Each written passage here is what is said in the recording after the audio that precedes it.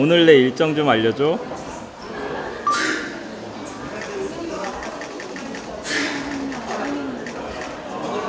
약속이 있습니다. 제목 김해문과 대입 후 1시 장소 대한민국 서울특별시 서초구 서초 이동 13만 2020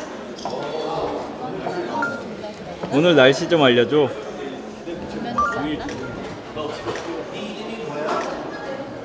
김신혜가 해야지. 김신혜